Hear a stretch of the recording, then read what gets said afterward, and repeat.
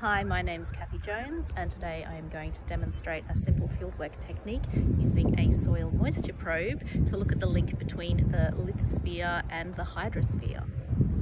One of these soil moisture probes has three different settings on it. You can see here it has a moisture setting, a light setting and a pH setting. Now I use this more, most often to do soil moisture using the moisture setting pushed over to the left there. And if you have a look at uh, where the needle is sitting and the gauge there, um, the soil moisture is that middle line here which goes from red to green to blue which is from dry to wet and then you can see the corresponding numbers from 1 all the way up to 10 on that scale.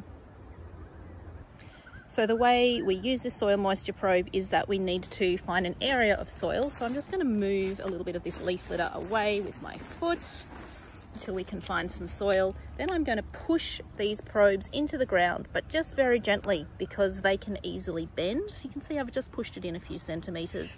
I've got the settings set on moist for moisture. And then if I have a look at the gauge, I can see here that it is reading two. So that means that the soil in this area is quite dry. We can visually confirm that as well. You can see that the leaf litter above seems a little bit wet, but the soil underneath here the water hasn't got down deep enough and it is quite dry. So we'd make sure we recorded our result of two on our data sheet. You could link in soil moisture and the hydrosphere with soil depth in the lithosphere and also maybe the biosphere with the tree size as well. So you could combine uh, all of these different tests together to put together a good biophysical investigation of your area.